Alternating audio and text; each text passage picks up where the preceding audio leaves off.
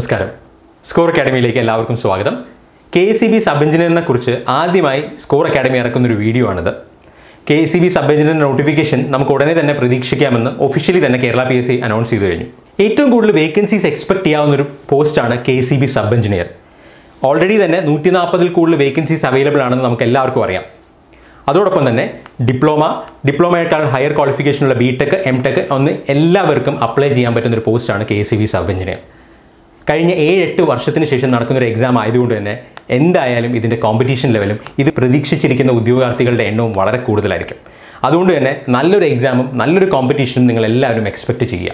ഈ എക്സാമിന് വേണ്ടി എങ്ങനെയായിരിക്കണം നമ്മുടെ പ്രിപ്പറേഷൻ സ്ട്രാറ്റജി എന്നും നമ്മുടെ പ്രിപ്പറേഷനിലെ ഓരോ സ്റ്റേജിലും നമ്മൾ എന്തിനൊക്കെയാണ് ഇമ്പോർട്ടൻസ് കൊടുക്കേണ്ടതെന്നും അതുപോലെ തന്നെ ഏറ്റവും ഇമ്പോർട്ടന്റ് ആയി തൊട്ട് മുമ്പ് കഴിഞ്ഞ ഇലക്ട്രീഷ്യൻ എക്സാം നവംബർ ഇരുപത്തൊന്നാം തീയതി കഴിഞ്ഞ ഇലക്ട്രീഷ്യൻ എക്സാമിൽ നിന്ന് നമ്മൾ എന്തൊക്കെയാണ് അനലൈസ് ചെയ്യേണ്ടതെന്നും നമ്മൾ ഈ വീഡിയോയിൽ ഡീറ്റെയിൽഡ് ആയിട്ട് പറയുന്നുണ്ടാവും.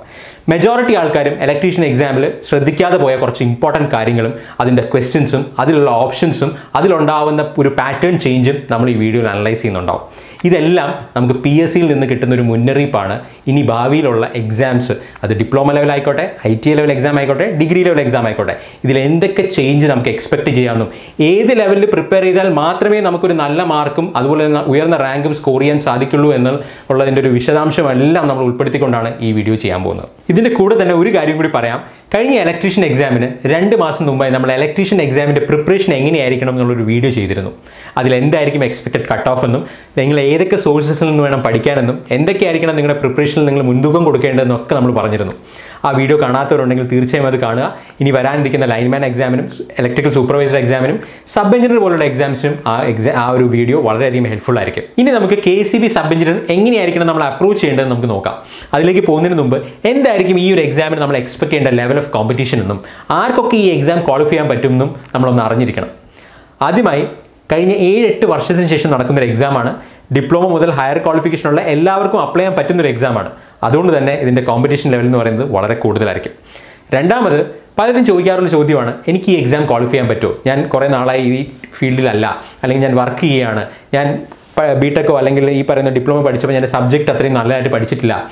അവർ അതിനെല്ലാത്തിനുള്ള ഒറ്റ ഉത്തരം എന്ന് പറയുന്നത് നിങ്ങൾക്ക് ശരിയായ ഒരു സ്ട്രാറ്റജി ഉണ്ടെങ്കിൽ നിങ്ങൾക്ക് കൺസിസ്റ്റന്റായി ടൈം ഇൻവെസ്റ്റ് ചെയ്യാൻ പറ്റുമെങ്കിൽ ക്വാളിറ്റി കണ്ടന്റ് എന്ത് എങ്ങനെ എത്ര ഡെപ്തിൽ പഠിക്കണമെന്ന് നിങ്ങൾക്ക് വ്യക്തമായി അറിയാമെങ്കിൽ ഒരു ആറ് ഏഴ് മാസത്തെ സീരിയസ് പ്രിപ്പറേഷനും കൊണ്ട് നിങ്ങൾക്ക് ഈ എക്സാം സിമ്പിളായി ക്രാക്ക് ചെയ്യാവുന്നതാണ്.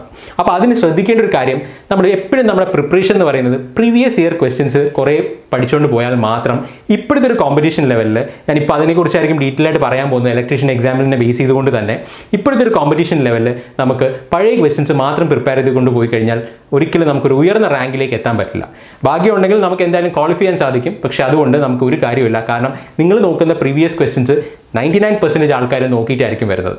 അപ്പോൾ നമുക്ക് ആ വരുന്ന എക്സ്ട്രാ ഡിഫറന്റ് ആയിട്ട് വരുന്ന ക്വസ്റ്റ്യൻസ് അല്ലെങ്കിൽ ടിപ്പിക്കലായിട്ട് വരുന്ന ആപ്ലിക്കേഷണൽ ക്വസ്റ്റ്യൻസ് ഇതൊക്കെ സോൾവ് ചെയ്യണമെങ്കിൽ കറക്റ്റ് ആയിട്ടുള്ള പ്രിപ്പറേഷനും അതുപോലെ തന്നെ എന്ത് എങ്ങനെ പഠിക്കണമെന്ന് വളരെ വ്യക്തമായിട്ടുള്ളൊരു ധാരണയും നമുക്ക് എക്സാമിന് മുമ്പ് ഉണ്ടായിരിക്കണം. നമ്മൾ ഈ പറഞ്ഞ കാര്യങ്ങൾ നമുക്ക് കുറച്ച് ഫാക്ട്സ് വെച്ച് ഡിസ്കസ് ചെയ്യാം. നമ്മളൊരു സാധാരണ ഒരു ഡിപ്ലോമ ലെവൽ എക്സാമിന് ഹൺഡ്രഡ് മാർക്സും ടെക്നിക്കൽ ആയിരിക്കുമ്പോൾ നമുക്ക് എക്സ്പെക്ട് ചെയ്യുന്ന ഒരു റേഷ്യോ എന്ന് പറയുന്നത് സെവന്റി ഫൈവ് പെർസെന്റ് ക്വസ്റ്റൻസും തിയറിറ്റിക്കൽ ആയിരിക്കും. ഒരു ട്വന്റി ഫൈവ് പെർസെന്റ് ക്വസ്റ്റൻസ് ആയിരിക്കും ന്യൂമറിക്കൽ അത് തന്നെ ഈ ട്വന്റി ഫൈവ് പെർസെന്റ് ക്വസ്റ്റൻസ് എന്ന് പറയുന്നത് നമുക്ക് അധികം സമയം ഒന്നും കൺസ്യൂം ആവാത്ത വളരെ പെട്ടെന്ന് തന്നെ ആൻസർ ആൻസറിലേക്ക് എത്താൻ പറ്റുന്ന ഡയറക്റ്റ് ക്വസ്റ്റൻസ് ആയിരിക്കും ന്യൂമറിക്കൽസ് വരിക. അത് നമുക്ക് എപ്പോഴും ഒരു ടൈം സേവിംഗ് ആയിട്ട് നമുക്ക് കിട്ടുന്ന ഒരു കുറച്ച് ക്വസ്റ്റൻസ് ആണ്. പക്ഷേ തിയററ്റിക്കൽ ക്വസ്റ്റ്യൻസ് എന്ന് പറയുന്നത് ഇതുവരെ ചോദിച്ചൊരു ട്രെൻഡ് അല്ല റീസെന്റ്ലി പി എസ് സി ചോദിക്കുന്നത്.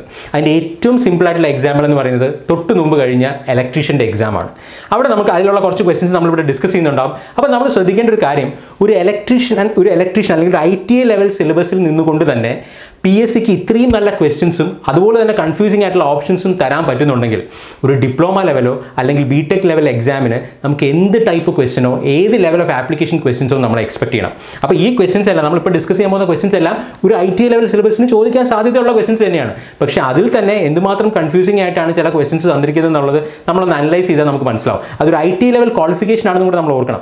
അപ്പോൾ ആ ഒരു ലെവലിൽ നിന്ന് നമുക്ക് ഇങ്ങനത്തെ ക്വസ്റ്റ്യൻസ് എക്സ്പെക്ട് ചെയ്യാമെങ്കിൽ അത് ഓൾറെഡി തന്നെ വന്നിട്ടുണ്ടെങ്കിൽ ഇനി വരാൻ പോകുന്ന ഡിപ്ലോമ ബി ടെക് ലെവൽ എക്സാംസിന്റെ ഒരു ലെവൽ എന്ന് പറയുന്നത് നമുക്ക് ഊഹിക്കാവുന്നതേ ഉള്ളൂ. നമുക്ക് ആ ക്വസ്റ്റ്യൻസിലേക്ക് ഒന്ന് പോവാം.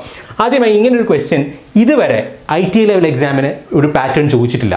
ഇതിന്റെ ഓപ്ഷൻസ് എല്ലാം ഡയറക്റ്റ് വളരെ സിമ്പിളാണ് അതുകൊണ്ട് നമുക്ക് ഈ ക്വസ്റ്റ്യൻ വളരെ സിമ്പിളായിട്ട് പറയാം. പക്ഷേ ഈ ഒരു പാറ്റേൺ നമ്മൾ സാധാരണ രീതിയിൽ ഡിഗ്രി ലെവൽ എക്സാംസിന് എഞ്ചിനീയറിംഗ് സർവീസിന്റെ ക്വസ്റ്റ്യൻസിലാണ് നമ്മൾ ഏറ്റവും കൂടുതൽ കാണാറ്. നമ്മൾ നമ്മുടെ ഡിഗ്രി ലെവൽ ക്ലാസ്സിന് ഇങ്ങനത്തെ ക്വസ്റ്റ്യൻസ് ഒക്കെ മെഷീൻസിൽ നിന്ന് ഒരുപാട് ഡിസ്കസ് ചെയ്യാറുണ്ട്. കാരണം ഇതെല്ലാം ഈ പറയുന്ന മൂന്ന് ഓപ്ഷൻസ് നിങ്ങൾക്ക് വ്യക്തമായി അറിയാമെങ്കിൽ മാത്രമേ നമുക്ക് ആൻസറിലേക്ക് എത്താൻ പറ്റുള്ളൂ.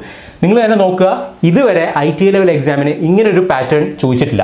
ഇതുവരെ ചോദിച്ചിട്ടുള്ള എല്ലാം തന്നെ ഒരു ക്വസ്റ്റ്യൻ ഉണ്ടാവും. അതിന്റെ ഡയറക്റ്റ് ആൻസർ ആണ് എപ്പോഴും ചോദിക്കാറ്. പക്ഷേ പി എസ് സി അതിൽ നിന്നൊക്കെ മാറി ഇങ്ങനെ ഒരു ക്വസ്റ്റ്യൻ ചോദിച്ചിട്ടുണ്ട്. പക്ഷേ ഇത് കമ്പാരിറ്റീവ്ലി സിമ്പിളാണ് ഓപ്ഷൻസ് എല്ലാം സിമ്പിളാണ് അതേപോലെ തന്നെ നമ്മൾ വളരെ ക്ലാസ്സിൽ ഡീറ്റെയിൽ ആയിട്ട് എക്സ്പ്ലെയിൻ ചെയ്താണ് ഫുൾ വേവ് റെക്ടിഫയറും ഹാഫ് വേവ് റെക്ടിഫയറും അതിന്റെ തന്നെ ഒരു കമ്പാരിസൺ ചാർട്ടും ഒരു ടേബിളൊക്കെ നമ്മൾ തന്നതാണ്. പക്ഷേ നമ്മൾ അതിൽ പഠിച്ച ഓരോ ഓരോ ഡെഫിനിഷനും ഓരോ ടേമും അറിഞ്ഞാൽ മാത്രമേ ഈ ആൻസറിലേക്ക് എത്താൻ പറ്റുള്ളൂ. ഇതെല്ലാം ഇപ്പോൾ ചോദിച്ച ഇലക്ട്രീഷ്യന്റെ ക്വസ്റ്റ്യൻസ് ആണ്. അപ്പോൾ ഇതിലുള്ള എല്ലാ ഫാക്ടേഴ്സും ഇതിലിപ്പോൾ വേണമെങ്കിൽ ഒരു പി ഒരു പീക്ക് ഇൻവേഴ്സ് വോൾട്ടേജിന്റെ ഒരു ടേമും കൂടി ഇട്ട് കഴിഞ്ഞാൽ കുറച്ചും കൂടി ക്വസ്റ്റ്യൻ ടഫ് ആവും. അപ്പോൾ ഈ പറയുന്ന രീതിയിലുള്ള ഒരു ക്വസ്റ്റ്യൻ സാധാരണഗതിയിൽ നിങ്ങൾ മുൻകാലങ്ങളിൽ നോക്കിക്കഴിഞ്ഞാൽ ഒരു ഐ ടി ലെവൽ എക്സാമിന് ഇതുവരെ ചോദിച്ചിട്ടില്ല.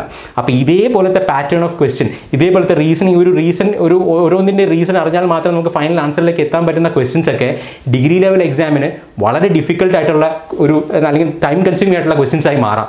അപ്പോൾ ഇതെല്ലാം ഓർത്ത് വേണം നമ്മളൊരു പ്രിപ്പറേഷൻ മുന്നോട്ട് കൊണ്ടുപോകാനായിട്ട്. അതുപോലെ തന്നെ ചോദിച്ചാൽ നമ്മൾ ഇലക്ട്രീഷൻ എക്സാമിന് ചോദിച്ചൊരു ക്വസ്റ്റൻ ആണ്. ഇത് കമ്പാരിറ്റീവ്ലി സിമ്പിൾ ആയിട്ടുള്ള ക്വസ്റ്റൻ ആണ്. കാരണം നമുക്കൊരു ത്രീ ഫേസിന്റെ ആപ്ലിക്കേഷൻ നമ്മൾ മോട്ടറൊക്കെ പഠിച്ചതാണ്. അതിൽ ഇതിൽ ഈ ഒരു ക്വസ്റ്റ്യന്റെ ഓപ്ഷൻ എന്ന് പറയുന്നത് ഓൾറെഡി ഒരു മോട്ടർ കണക്ട് ഓൾറെഡി ഒരു ലാമ്പ് കണക്ട് ചെയ്തിട്ടുണ്ട്. അതിനുശേഷമാണ് മോട്ടർ കണക്ട് ചെയ്തിരിക്കുന്നതാണ് പറഞ്ഞത്. പക്ഷെ നേരെ തിരിച്ച് ചോദിക്കുകയാണെങ്കിലോ അപ്പോൾ ഈ ഓപ്ഷൻസ് തമ്മിൽ കൺഫ്യൂസിങ് ആവാം. ഇവിടുത്തെ ഏറ്റവും വലിയ പ്രത്യേകത ഈ ഓപ്ഷൻസിൽ എല്ലാം തന്നെ അല്ലെങ്കിൽ അറ്റ്ലീസ്റ്റ് ഒരു മൂന്ന് ഓപ്ഷനെങ്കിലും നമുക്ക് കറക്റ്റ് ആണെന്ന് തോന്നിയേക്കാം. അപ്പോൾ ഇങ്ങനത്തെ തിയറട്ടിക്കൽ ക്വസ്റ്റ്യൻസ് ഒരു ഐ ടി ലെവൽ സിലബസിൽ നിന്നുകൊണ്ട് തന്നെ പി എസ് സി ചോദിച്ചിട്ടുണ്ടെങ്കിൽ നിങ്ങൾക്ക് നിങ്ങൾ തന്നെ ഒന്ന് ആലോചിച്ച് നോക്കൂ. ഒരു ഡിപ്ലോമ ലെവൽ എക്സാമിനോ ബി ടെക് ലെവൽ എക്സാമിനോ നമുക്ക് ഏതൊക്കെ ടൈപ്പ് ഓഫ് ക്വസ്റ്റ്യൻ അത് മെഷീൻസ് ആയിക്കോട്ടെ പവർ സിസ്റ്റം ആയിക്കോട്ടെ അല്ലെങ്കിൽ കൺട്രോൾ സിസ്റ്റം ആയിക്കോട്ടെ ഇങ്ങനത്തെ ഏരിയാസിൽ നിന്നൊക്കെ നമുക്ക് ചോദിക്കാൻ സാധ്യതയുണ്ട്. ഇപ്പോൾ ഡിപ്ലോമ ലെവലാണെങ്കിൽ നമുക്ക് ഏറ്റവും കൂടുതൽ ചോദിക്കാൻ സാധ്യതയുള്ള മെഷീൻസിൽ നിന്നും അതുപോലെ ഇലക്ട്രോണിക്സ് അങ്ങനത്തെ ടോപ്പിക്സിൽ നിന്നൊക്കെ ഈ ആപ്ലിക്കേഷൻ ലെവൽ ക്വസ്റ്റ്യൻസ് അവിടെ എല്ലാ ഓപ്ഷൻസും അറിഞ്ഞാൽ മാത്രമേ നമുക്ക് ഫൈനൽ ആൻസറിലേക്ക് എത്താൻ പറ്റുള്ളൂ. അപ്പോൾ ഈ ഓപ്ഷൻസ് എല്ലാം തന്നെ നമുക്ക് ഒരുപക്ഷെ ശരിയാണെന്ന് തോന്നിയേക്കാം. അപ്പോൾ ഇവിടെ നമുക്ക് ഈ ചോദിച്ചിരിക്കുന്ന ക്വസ്റ്റിന്റെ ആൻസർ നമുക്ക് സി ആണെന്ന് വേണമെങ്കിൽ പറയാം. പക്ഷേ നേരെ തിരിച്ചായിരുന്നു. ആദ്യം ഒരു മോട്ടറാണ് കണക്ട് ചെയ്യുന്നത് എന്നിട്ട് രണ്ടാമതാണ് ഇവിടെ ഒരു ലാമ്പ് കണക്ട് ചെയ്യുന്നതെങ്കിൽ ആൻസർ എ ആയേനെ. അപ്പോൾ ഇങ്ങനെ അല്ലെങ്കിൽ എയോ അല്ലെങ്കിൽ വേറെ ഏതെങ്കിലും ഒരു ഓപ്ഷൻ ആയേനെ. അപ്പോൾ ഇതാണ് നമ്മൾ എപ്പോഴും അറിഞ്ഞിരിക്കേണ്ട കാര്യം. അപ്പോൾ ഇതൊന്ന് മനസ്സിൽ വെച്ച് കഴിഞ്ഞാൽ നമുക്ക് മനസ്സിലാവും ഈ ക്വസ്റ്റ്യൻസിന്റെ ലെവൽ എന്ന് പറയുന്നത് വളരെ സിമ്പിളായിട്ട് തന്നെ ഈ സിലബസിന്റെ ഉള്ളിൽ നിന്നുകൊണ്ട് തന്നെ പി എസ് സിക്ക് ഏത് ലെവലിലേക്ക് വേണോ കൂട്ടാനോ കുറയ്ക്കാനോ പറ്റും. അപ്പോൾ ആ ലെവലിലേക്ക് ഒരു ക്വസ്റ്റ്യൻ വരികയാണെങ്കിൽ തീർച്ചയായും നമ്മൾ പ്രീവിയസ് ഇയർ ക്വസ്റ്റ്യൻസ് മാത്രം നോക്കിയിട്ട് പോയി കഴിഞ്ഞാൽ നമുക്ക് മികച്ചൊരു മാർക്കോ അല്ലെങ്കിൽ റാങ്കോ നമുക്ക് ഒരിക്കലും ഉറപ്പുവരുത്താൻ സാധിക്കില്ല. അപ്പോൾ ഇതെല്ലാം മനസ്സിൽ വെച്ച് വേണം ഏറ്റവും സിൻസിയറായിട്ട് ഏറ്റവും എഫക്റ്റീവായിട്ടൊരു സ്ട്രാറ്റജി നമ്മൾ കൊണ്ടുപിടിക്കാനും അതുപോലെ തന്നെ നമ്മുടെ ടൈം നമ്മൾ എവിടെ ഇൻവെസ്റ്റ് ചെയ്യണം? ഏറ്റവും ക്വാളിറ്റി ആയിട്ടുള്ള കണ്ടന്റ് എവിടെ കിട്ടും? അല്ലെങ്കിൽ അത് എങ്ങനെ വേണം നമ്മൾ പ്രിപ്പയർ ചെയ്യാൻ? ഇതെല്ലാം ഉൾക്കൊടുത്തി വേ- ഉൾപ്പെടുത്തി വേണം നമ്മൾ എന്ത് ചെയ്യാനായിട്ട് പ്രിപ്പറേഷൻ മുന്നോട്ട് കൊണ്ടുപോകാനായിട്ട്. ഇനി നമ്മൾ ശ്രദ്ധിക്കേണ്ട ഏറ്റവും ഇമ്പോർട്ടന്റ് ആയിട്ടുള്ള കാര്യം K C B sub engineer പോലുള്ള ഡിപ്ലോമ ലെവൽ എക്സാംസിന് നമ്മുടെ ഫൈനൽ റാങ്ക് തീരുമാനിക്കുന്ന രണ്ട് ഫാക്ടേഴ്സ് എന്ന് പറയുന്നത് നമ്മുടെ സ്പീഡും ആക്യുറസിയാണ് മിനിമം സമയത്തിൽ എത്രത്തോളം ക്വസ്റ്റ്യൻസ് ആൻസർ ചെയ്യാൻ പറ്റും എന്നുള്ളതാണ് നമുക്ക് ഏറ്റവും നമ്മൾ ഏറ്റവും അധികം ശ്രദ്ധിക്കേണ്ട ഒരു കാര്യം. അതിൽ തന്നെ കൺഫ്യൂസിംഗ് ആയിട്ടുള്ള ഓപ്ഷൻസ് എത്ര പെട്ടെന്ന് നമുക്ക് എലിമിനേറ്റ് ചെയ്യാൻ സാധിക്കുന്നു എന്നുള്ളത് വളരെ ഇമ്പോർട്ടന്റ് ആയിട്ടുള്ള കാര്യമാണ്.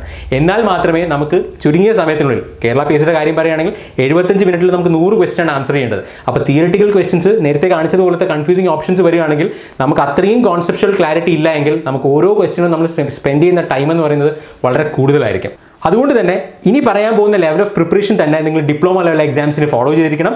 അതുപോലെ തന്നെ ഓരോ ടോപ്പിക്കിലും നമ്മൾ ഇൻവെസ്റ്റ് ചെയ്യേണ്ട minimum number of hours focus ചെയ്യേണ്ട ഏരിയാസ് അല്ലെങ്കിൽ ഏറ്റവും കോറായിട്ട് നമ്മൾ ഫോക്കസ് ചെയ്യേണ്ട ഏരിയാസ് അതെല്ലാത്തിനും ഒരു വ്യക്തതയോടുകൂടി വേണം നിങ്ങൾ പ്രിപ്പറേഷൻ മുന്നോട്ട് കൊണ്ടുപോകാനായിട്ട്. ഇനി ഇതിന്റെ സിലബസ് ഒന്ന് അനലൈസ് ചെയ്ത് കഴിഞ്ഞാൽ ഞാൻ പറയുന്നത് കഴിഞ്ഞ തവണത്തെ K C V sub engineer സിലബസിനെ കുറിച്ചാണ്. വളരെ ആണ് സിലബസ് നമുക്ക് ഹൺഡ്രഡ് മാർക്സും ടെക്നിക്കൽ ആയതുകൊണ്ട് തന്നെ ഏത് ഏരിയയിൽ നിന്നുകൂടെ ക്വസ്റ്റ്യൻസ് എക്സ്പെക്ട് ചെയ്യാം. അതുകൊണ്ട് തന്നെ ഓരോ ഏരിയയിൽ നിന്നും എത്രത്തോളം ഡെപ്തിൽ എത്രത്തോളം ക്വാളിറ്റി കണ്ടന്റ് നമ്മൾ പഠിക്കണം എന്നുള്ളതിനെ കുറിച്ചൊരു വ്യക്തത എന്തായാലും നമുക്ക് ഉണ്ടായിരിക്കണം. ഈ കാര്യങ്ങളെല്ലാം ഉൾപ്പെടുത്തിക്കൊണ്ട് കെ സി ബി സബ് എഞ്ചിനീയറിന് വേണ്ടി എക്സ്ക്ലൂസീവ്ലി നമ്മൾ ലോഞ്ച് ചെയ്യുന്ന പുതിയ കോഴ്സാണ് സൂപ്പർ സബ് കോഴ്സ് അപ്പോൾ ഈ ഒരു കോഴ്സിന്റെ ഡീറ്റെയിൽസിലേക്ക് പോകുന്നതിന് മുമ്പ് നമ്മൾ ഇതുവരെ ലോഞ്ച് ചെയ്ത കോഴ്സസ് അതിൽ നമ്മൾ എന്തൊക്കെ ഡിസ്കസ് ചെയ്തു എത്ര ടെസ്റ്റുകൾ നടത്തി അതുപോലെ തന്നെ എത്ര ക്വസ്റ്റ്യൻസ് ആണ് നമ്മൾ ക്ലാസ്സിലൂടെയും ടെസ്റ്റ് സീരീസിലൂടെയൊക്കെ ഡിസ്കസ് ചെയ്തത് നമുക്ക് ബ്രീഫായിട്ടൊന്ന് നോക്കാം. അപ്പോൾ നമ്മൾ രണ്ട് കോഴ്സസ് ആണ് ഇതിനു മുമ്പ് ലോഞ്ച് ചെയ്തിട്ടുള്ളത്. നമ്മുടെ സൂപ്പർ സബ് എന്ന് പറയുന്നത് നമ്മുടെ മൂന്നാമത്തെ കോഴ്സാണ് അപ്പോൾ കോംപ്രിഹെൻസീവ് ഇലക്ട്രിക്കൽ എന്ന് പറഞ്ഞാൽ ഏറ്റവും ഡീറ്റെയിൽഡ് ആയിട്ടുള്ള ഈ ഒരു കോഴ്സിൽ നമ്മൾ കവർ ചെയ്യുക അതായത് കെ സി ബി തൊട്ട് നമ്മുടെ കേരള പി എസ് സിയിൽ ഏതൊക്കെ എക്സാംസ് വരുമോ അതെല്ലാത്തിന്റെയും സിലബസ് കംപ്ലീറ്റ് ആയിട്ട് കവർ ചെയ്തുകൊണ്ട് ഏറ്റവും ബേസിക്സ് തൊട്ട് കവർ ചെയ്തുകൊണ്ടാണ് നമ്മൾ കോംപ്രിഹെൻസീവ് ഇലക്ട്രിക്കൽ എന്ന course it still on going അത് ഏകദേശം ഫോർ ഫിഫ്റ്റി പ്ലസ് അവേഴ്സ് വരുന്ന ഒരു കോഴ്സാണ് അപ്പോൾ അതിൽ ഓൾറെഡി തന്നെ നമ്മൾ ത്രീ ഫിഫ്റ്റി അവേഴ്സ് നമ്മൾ കംപ്ലീറ്റ് ചെയ്തു. അതിൽ ക്ലാസ്സിൽ മാത്രം ഇത്രയും ക്വസ്റ്റൻസും ടെസ്റ്റ് സീരീസിലൂടെ ഇത്രയും ക്വസ്റ്റൻസും ഈ ടെസ്റ്റ് സീരീസ് നമുക്ക് എപ്പോഴും എക്സാമിന് അടുക്കാറാകുമ്പോഴാണ് നമ്മൾ കൂടുതൽ ടെസ്റ്റസ് വരിക. അപ്പോൾ ഇത്രയും ക്വസ്റ്റൻസ് നമ്മൾ ഓൾറെഡി കവർ ചെയ്തിട്ടുണ്ട്. അപ്പോൾ ഓരോ ഏരിയയിലും നമ്മൾ നേരത്തെ പറഞ്ഞ പോലെ എക്സ്പെക്ട് ചെയ്യാവുന്ന ക്വസ്റ്റ്യൻസ് ഇ എസിന്റെ ക്വസ്റ്റ്യൻസ് ഗേറ്റിന്റെ വൺ മാർക്ക് ക്വസ്റ്റ്യൻസ് ഇതെല്ലാം കവർ ചെയ്തുകൊണ്ടാണ് നമ്മൾ ഈ ഒരു കോഴ്സ് മുന്നോട്ട് കൊണ്ടുപോകുന്നത്. അതേപോലെ തന്നെ നമ്മൾ ഒരു രണ്ട് മാസം കൊണ്ട് ലോഞ്ച് ചെയ്ത ഒരു ഇലക്ട്രീഷ്യൻ ഐ ടി ഐ കോഴ്സിൽ തന്നെ നമ്മൾ വൺ ട്വന്റി പ്ലസ് അവേഴ്സും ഇത്രയും ക്വസ്റ്റ്യൻസ് ക്ലാസ്സിൽ ഡിസ്കസ് ചെയ്തു ഇത്രയും ടെസ്റ്റ് സീരീസും നമ്മൾ കണ്ടക്ട് ചെയ്തിരുന്നു. അതുപോലെ തന്നെ ഈ ഒരു കോഴ്സിന് കുറച്ച് വീഡിയോസ് നമ്മൾ റിവിഷന് വേണ്ടിയിട്ട് യൂട്യൂബിൽ തന്നെ പബ്ലിക്കായിട്ട് ഇട്ടിരുന്നു. അപ്പോൾ ഇലക്ട്രീഷ്യന്റെ എക്സാം കഴിഞ്ഞിട്ട് വളരെ മികച്ച റെസ്പോൺസാണ് നമ്മൾ ഒരുപാട് കുട്ടികൾ വിളിച്ച് പറഞ്ഞത്. അപ്പോൾ അതെല്ലാം അറിഞ്ഞതിൽ വളരെ സന്തോഷം. അപ്പോൾ ഇതേപോലെ തന്നെയായിരിക്കും നമ്മൾ സബ് എഞ്ചിനീയറിന്റെ കോഴ്സും ലോഞ്ച് ചെയ്യുന്നതും അതേപോലെ തന്നെ ഓരോ ടോപ്പിക് വൈസും സബ് എഞ്ചിനീയർ ലെവലിൽ ഒരു ഡിപ്ലോമ ലെവലിൽ നമുക്ക് എന്തൊക്കെയാണോ ആവശ്യമുള്ളത് അതെല്ലാം സിസ്റ്റമാറ്റിക് ആയിട്ട് കവർ ചെയ്തുകൊണ്ട് തന്നെയായിരിക്കും നമ്മൾ ഇനി അതിൽ ഏറ്റവും കൂടുതൽ ഇമ്പോർട്ടൻസ് ടെസ്റ്റ് സീരീസിന് കൊടുത്തുകൊണ്ട് തന്നെയായിരിക്കും നമ്മൾ മുന്നോട്ട് പോകുന്നത്. ഇനി നമുക്ക് ഈ ഒരു സബ് എഞ്ചിനീയർ കോഴ്സിന്റെ ഡീറ്റെയിൽസിലേക്ക് പോകാം നമ്മുടെ എല്ലാ കോഴ്സിനെയും പോലും നമുക്ക് ഒരു എക്സാമിന് മാത്രമല്ല നമ്മൾ ഏറ്റവും കൂടുതൽ ഫോക്കസ് ചെയ്യാൻ പോകുന്ന സബ് എഞ്ചിനീയർ ആണെങ്കിലും ഞാൻ നേരത്തെ പറഞ്ഞതുപോലെ എല്ലാ എക്സാംസിനുള്ള ഒരു പ്രിപ്പറേഷൻ നമുക്ക് അതിന്റെ കൂടെ ഓട്ടോമാറ്റിക്കലി തന്നെ നടക്കും. എല്ലാ സബ്ജക്റ്റും ഒരു ഫൗണ്ടേഷൻ പ്രോഗ്രാം ഉണ്ടാകും അതായത് ബേസിക്സ് ഒക്കെ നമ്മൾ വളരെ ക്ലിയർ ആയിട്ട് പഠിച്ചിട്ടായിരിക്കും മുന്നോട്ട് പോവുക. അതിനുശേഷമായിരിക്കും നമ്മൾ ക്വസ്റ്റൻസ് കൂടുതലും വർക്കൗട്ട് ചെയ്യുക ബാക്കിയെല്ലാം നമുക്ക് അറിയാവുന്ന കാര്യം തന്നെ നമ്മൾ എന്തൊക്കെ ടൈപ്പ് ഓഫ് ക്വസ്റ്റൻസ് ഡിസ്കസ് ചെയ്യും. അതുപോലെ തന്നെ ബാക്കി നമ്മൾ ആ ഓരോ ക്വസ്റ്റ്യനെയും നമ്മൾ നേരത്തെ പറഞ്ഞതുപോലെ ലോജിക് ബേസ് ആയിട്ടും ടൈപ്പ് ബേസ്ഡ് ആയിട്ടൊക്കെ നമ്മൾ സെഗ്രിഗേറ്റ് ചെയ്തായിരിക്കും പഠിക്കുക. കാരണം അതെല്ലാം നമ്മൾ എക്സാമിന് റിവിഷൻ സമയത്ത് എസ്പെഷ്യലി നമ്മുടെ ഐ ടി സമയത്ത് നമ്മൾ ലാസ്റ്റ് മിനിറ്റ് കൊടുത്ത ക്വിക്ക് നോട്ട്സ് ഒക്കെ അത് നിങ്ങൾക്ക് മനസ്സിലായിട്ടുണ്ടാവും എത്രത്തോളം യൂസ്ഫുൾ ആണ്? കാരണം നമ്മൾ ഒരുപാട് കാര്യങ്ങൾ പഠിക്കുമ്പോഴും ലാസ്റ്റ് ഉള്ള റിവിഷൻ അത്രയും തന്നെ ഇമ്പോർട്ടന്റ് ആണ്. അപ്പോൾ അതിനൊക്കെ ഇമ്പോർട്ടൻസ് കൊടുത്തിട്ടായിരിക്കും നമ്മൾ ഇത് മുന്നോട്ട് പോവുക.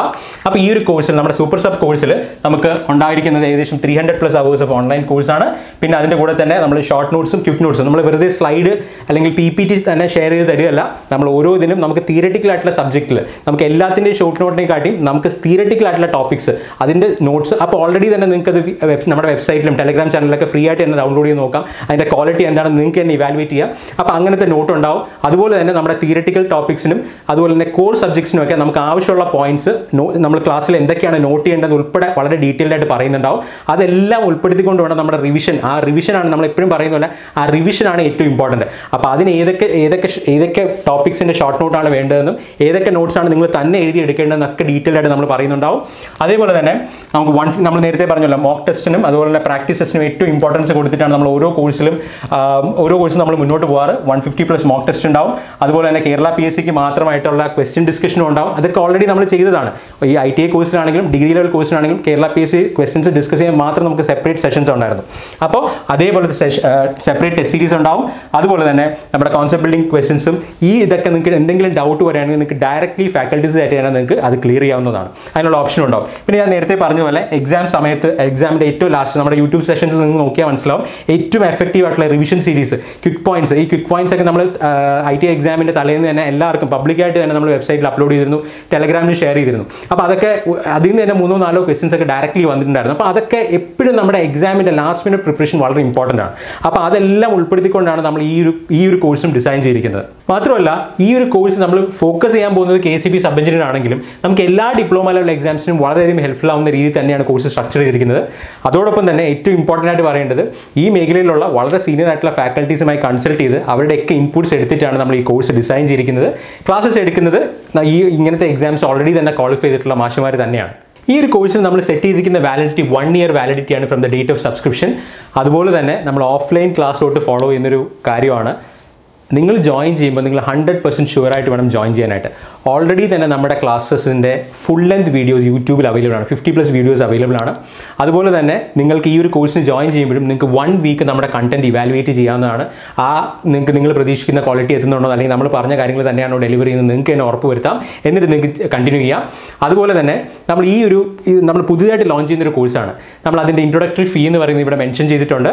അതുപോലെ തന്നെ നമുക്ക് നേരത്തെ പറഞ്ഞിട്ടുള്ള കോഴ്സസ് കോംപ്രിഹെൻസീവ് ഇലക്ട്രിക്കൽ കോഴ്സുമായിട്ടൊക്കെ വേണമെങ്കിൽ നിങ്ങൾക്ക് ഇത് കമ്പൈൻ ചെയ്ത് അല്ലെങ്കിൽ കോംബോ ആയിട്ടൊക്കെ നിങ്ങൾക്ക് നിങ്ങൾക്ക് സബ്സ്ക്രൈബ് ചെയ്യാവുന്നതാണ്. അതാണ് അതിന്റെ ഡീറ്റെയിൽസ് ഒക്കെ നിങ്ങൾക്ക് ഓഫീസുമായിട്ട് കോൺടാക്ട് ചെയ്യാവുന്നതാണ്. പിന്നെ എടുത്ത് പറയേണ്ട ഒരു കാര്യം നമ്മുടെ ഈ ഒരു കോഴ്സ് സബ്സ്ക്രൈബ് ചെയ്യുന്ന എല്ലാവർക്കും എല്ലാ ഫീച്ചേഴ്സും അവൈലബിൾ ആയിരിക്കും. അതായത് നമുക്ക് ഡൗട്ട് ക്ലിയറൻസ് ടെസ്റ്റ് സീരീസ് ഇതെല്ലാം ഇതിൽ ഇൻക്ലൂഡഡ് ആണ്. അതിന് സെപ്പറേറ്റ് ഫീയോ ബാച്ചോ ഒന്നുമില്ല. അപ്പം നിങ്ങൾക്ക് നിങ്ങൾ തന്നെ തീരുമാനിക്കുക. നിങ്ങളുടെ കരിയർ ഡിഫൈൻ ചെയ്യുന്നൊരു എക്സാമാണിത് അപ്പോൾ അതുകൊണ്ട് തന്നെ എത്രത്തോളം ഡെപ്തിൽ എത്രത്തോളം നല്ല രീതിയിൽ നമ്മൾ എപ്പോഴും പഠിക്കുമ്പോൾ ഒരു തവണ ഒരു ഒരു തവണ മാത്രം പഠിക്കുക. അത് ഏറ്റവും മികച്ച രീതിയിൽ പഠിക്കാൻ ശ്രമിക്കുക. അത് തന്നെ നിങ്ങൾ ഉറപ്പുവരുത്തുക. നിങ്ങൾക്ക് തന്നെ നമ്മുടെ ക്ലാസ്സസ് കണ്ട് നിങ്ങൾക്ക് ബാക്കിയുള്ളതായിട്ട് കമ്പയർ ചെയ്തിട്ട് നിങ്ങൾക്ക് തന്നെ ഒരു ഡിസിഷനിലേക്ക് എത്താം. അപ്പോൾ നമ്മൾ എക്സാം പ്രിപ്പറേഷനെ കുറിച്ച് ഈ വീഡിയോയിൽ പറഞ്ഞ കാര്യങ്ങളൊക്കെ നിങ്ങൾക്ക് ഹെൽപ്ഫുൾ ആയെന്ന് വിചാരിക്കുന്നു. Thanks lot for watching